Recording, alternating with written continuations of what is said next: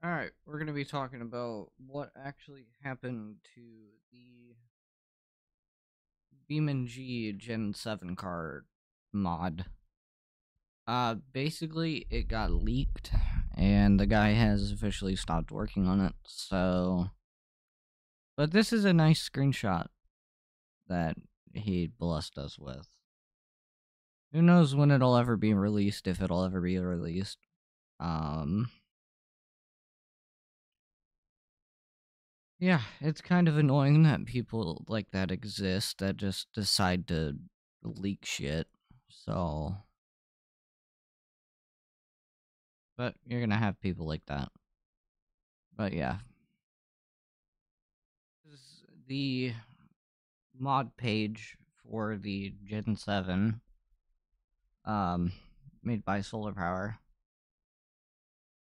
I highly doubt it's gonna come out after 60 years.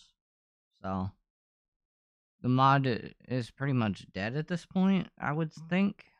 I don't know how this Oh, he joined in 2018. Okay, okay, okay. Oh, he just posted it April 12th of this year. So, who knows really how long it'll take? I mean, from looking at the screenshots, I mean, it looks amazing. Uh, but yeah, he goes, uh, but yeah, it got leaked. So, right there, as someone has leaked it. It's annoying. It, it really is. It, it sucks for this guy. I really feel bad for him. Um,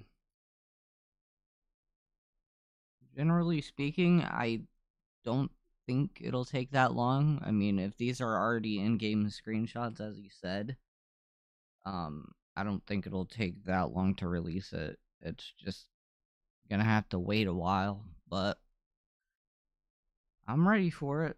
But yeah, this is what ended up ultimately happening to the mod. It's been kind of, I wouldn't say put on hold, but as far as the release date goes, there is none confirmed by him yet.